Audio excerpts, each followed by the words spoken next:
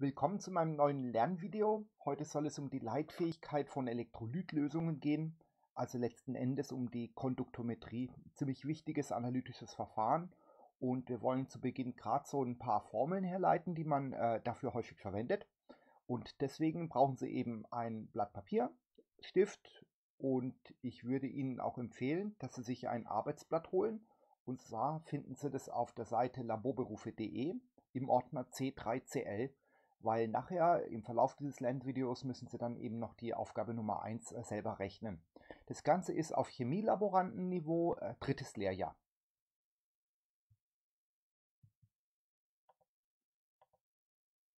Schauen wir uns mal zu Beginn eine solche Leitfähigkeitselektrode an. Das sieht erstmal ähnlich aus wie eine pH-Elektrode. Das ist einfach so ein Stab, der in die Lösung getaucht wird, in der sich Elektrolyten, also Ionen, befinden. Und dieser Stab hat einfach die Aufgabe, erstmal den Widerstand zu messen, den äh, diese Flüssigkeit hat. Sie transportiert ja den elektrischen Strom, weil ja ähm, freie Ladungsträger vorhanden sind, in diesem Fall Ionen. Äh, so kompliziert ist es auch gar nicht, weil wenn Sie mal genau schauen hier unten, sehen Sie, dass sich da eine kleine Lücke auftut. Und das ist der Bereich, der eben äh, in die Lösung getaucht wird. Und hier zwischen den beiden Seiten wird eben der Widerstand gemessen, den eine Lösung besitzt.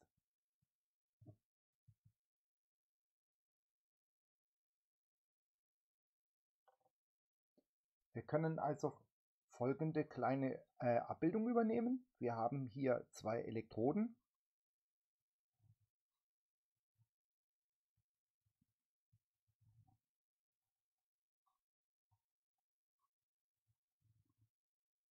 der einen Seite der war die eine Elektrode, auf der anderen Seite des Stabs war dann eben eine baugleiche Elektrode.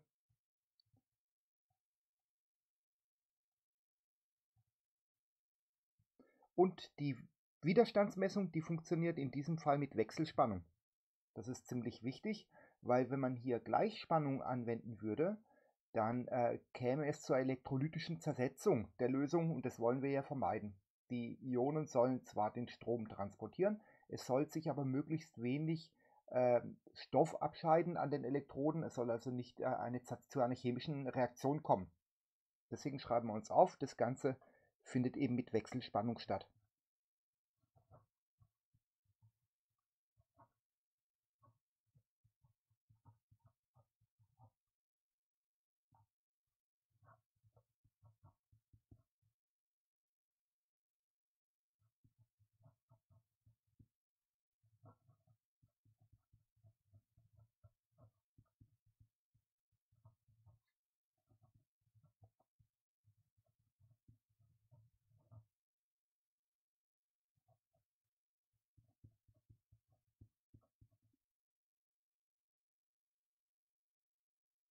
Das hier, das sollen also die Elektroden sein, zwischen denen der Widerstand gemessen wird.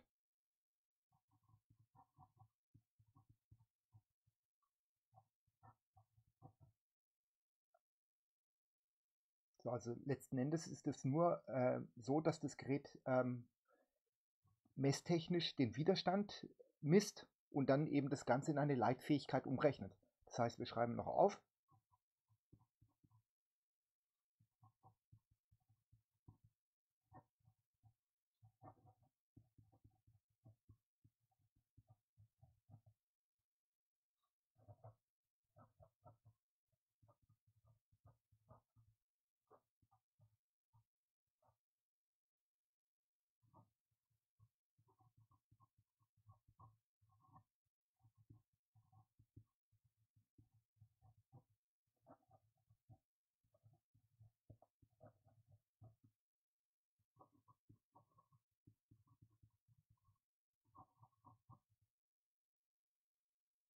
So, auch wenn das Gerät den elektrischen Widerstand misst in der Lösung zwischen den beiden Elektronen, kann es daraus die Leitfähigkeit bestimmen, weil letzten Endes wollen wir die Leitfähigkeit äh, haben, ähm, den die Lösung besitzt. Und dafür sind jetzt einige Rechenschritte nötig, aber es ist einfach eine mathematische Umformung und man kann eben anhand des elektrischen Widerstandes direkt dann die Leitfähigkeit berechnen.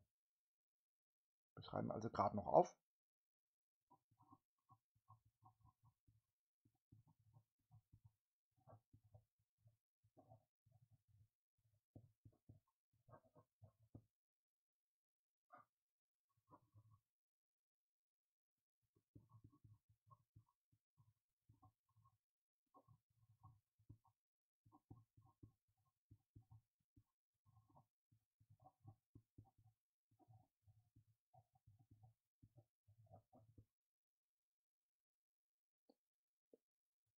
Wir wollen diesen mathematischen Zusammenhang zwischen Widerstand auf der einen Seite und der elektrischen Leitfähigkeit kurz uns herleiten mit Hilfe von Formeln. Das machen wir als nächstes.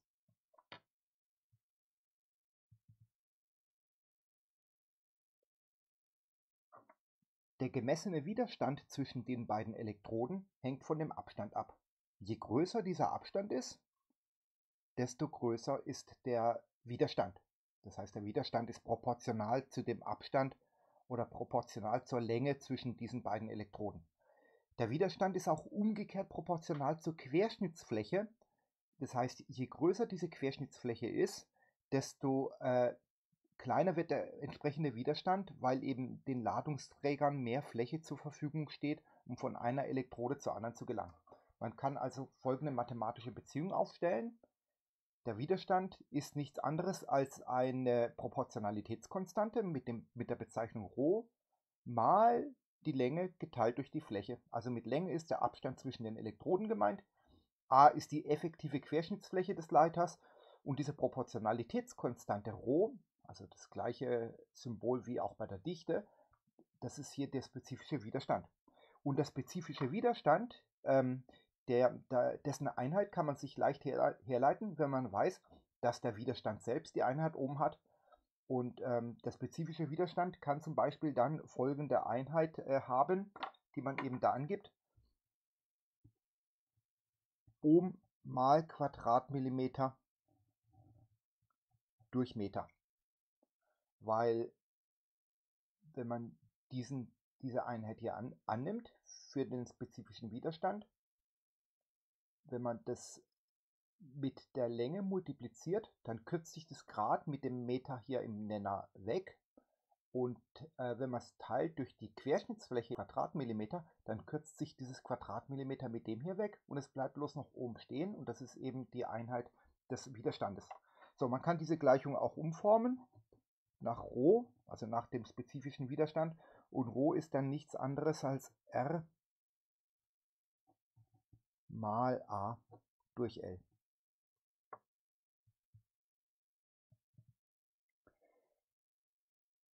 Der Kehrwert des elektrischen, äh, des spezifischen Widerstandes, also 1 durch Rho, das wird Leitfähigkeit bezeichnet und erhält das Symbol äh, Kappa. Sieht aus wie das griechische K. Ist also einfach nichts anderes als der Kehrwert des spezifischen Widerstandes. Kappa ist gleich 1 durch Rho. Und äh, mit dieser Definition für Rho, R ist gleich A mal L, kann man also das gerade den Kehrwert bilden davon. Und man kann für dieses Kappa dann auch schreiben, Kappa ist 1 durch R und äh, das mal A durch L, was hier steht, das kehrt sich ja auch um und es wird dann L durch A draus. Und Kappa ist nichts anderes als 1 durch R mal L durch A. Ähm, 1 durch R das bekommt auch häufig das Symbol G, das ist der sogenannte Leitwert, der wird in Siemens angegeben, wobei Siemens nichts anderes ist als 1 durch Ohm. Kann also zusammenfassend auch schreiben, Kappa ist gleich G mal L durch A, mit G eben als Leitwert.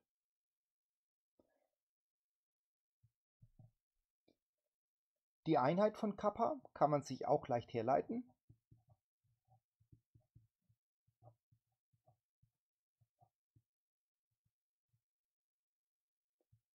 Weil die Einheit des Leitwertes ist ja das Siemens und der Abstand, also die Länge zwischen den beiden Elektroden, die kann man in Zentimetern angeben.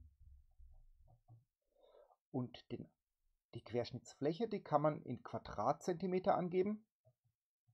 Und dann sieht man, dass man einmal äh, das Zentimeter kürzen kann im Zähler und im Nenner. Und das ist das gleiche wie Siemens pro Zentimeter. Das ist also die Einheit der Leitfähigkeit Kappa. Sehr häufig gibt man auch Millisiemens pro Zentimeter an. Wenn die, Einheit, wenn die Leitfähigkeit doch nicht ganz so groß ist, wählt man einfach Millisiemens pro Zentimeter. Oder wenn man stark verdünnte Lösungen hat, dann kann man sie auch in Mikrosiemens pro Zentimeter angeben. Dann ist die Leitfähigkeit sehr gering. Das sind also typische Einheiten für Kappa.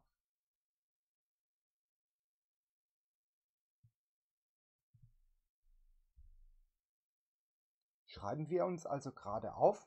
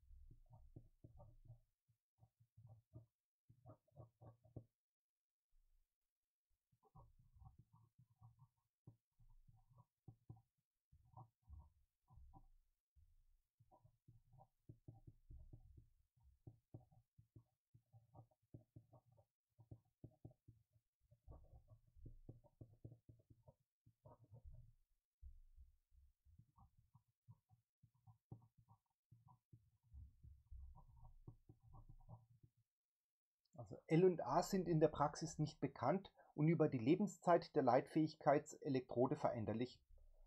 Und was man jetzt macht, ist eben folgendes. Man bestimmt die beiden nicht für sich äh, alleine, sondern als ähm, gemeinsames, gemeinsame Konstante.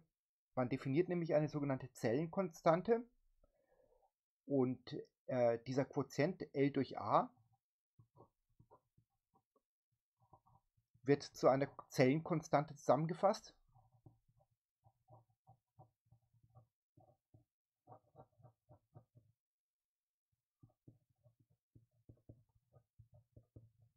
Die wird dann meistens mit K abgekürzt, zusammengefasst.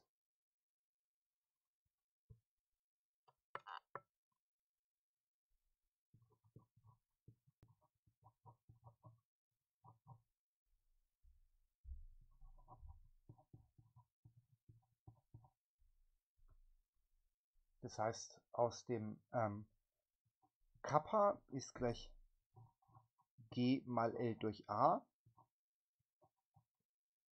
Geht man eben von aus, dass die innerhalb nicht allzu langer Zeiträume quasi konstant sind und die fasst man dann eben zusammen und zu einer konstanten K. Also Kappa ist dann nichts anderes als G mal K. Und K, diese Zellenkonstante, die hat die Einheit 1 pro Zentimeter. Das haben wir ja schon vorher gesehen, dass man einmal die Längeneinheit hier kürzen kann. Ähm, diese Zellenkonstante, die hat eben die Einheit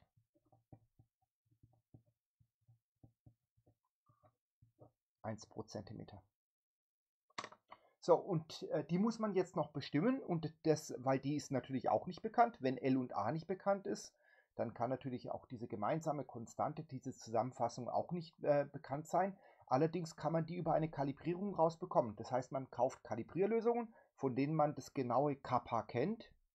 Dann bestimmt hält man eben die Leitfähigkeitselektrode in eine solche Lösung. Die misst dann letzten Endes den Widerstand oder den Kehrwert des Widerstandes letzten Endes und dann kann sie dann äh, kann, kann mit Hilfe von dieser Kalibrierlösung dann eben auch die Zellenkonstante berechnet werden. Wenn man die dann einmal weiß für die Elektrode, dann kann man eben dann die nutzen und dann äh, über solche Leitwertmessungen oder Widerstandsmessungen eben die absolute Leitfähigkeit anderer Lösungen angeben.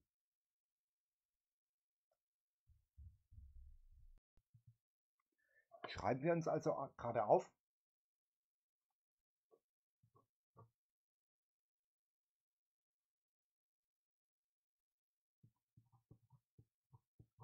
K kann über Kalibrierlösungen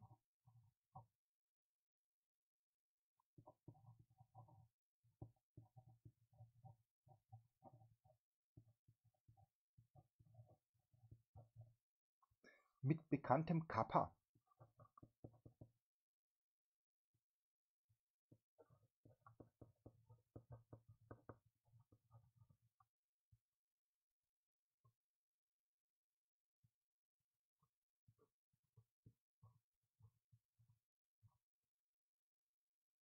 bestimmt werden.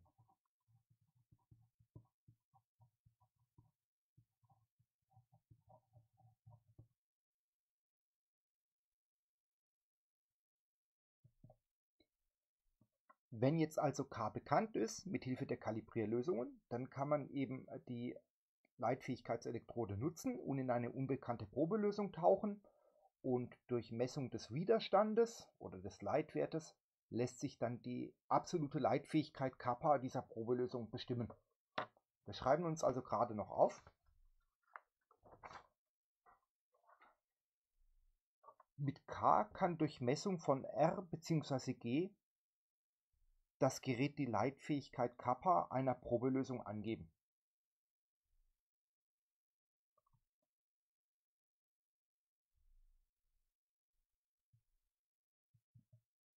Von Zeit zu Zeit sollte man dieses K dann eben neu bestimmen, wenn man die absolute Leitfähigkeit einer Probelösung haben will. Allerdings ist es häufig so, dass man die absolute Leitfähigkeit gar nicht braucht, Häufig wird die Konduktometrie nämlich eingesetzt bei Titrationen, um den Endpunkt zu erkennen der Titration und die absolute Leitfähigkeit ist dafür gar nicht nötig.